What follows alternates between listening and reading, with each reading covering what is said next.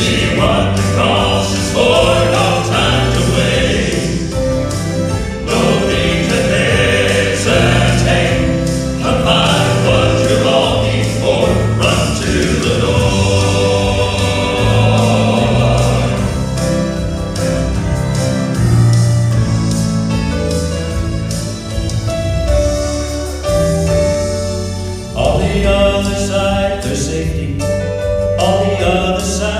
grace.